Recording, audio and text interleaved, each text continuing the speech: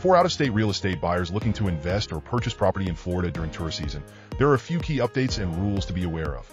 Here are six of six rules to pay attention to. 6. Remote closings, virtual tours. Many Florida real estate transactions can now be completed remotely with digital signatures and online notarization.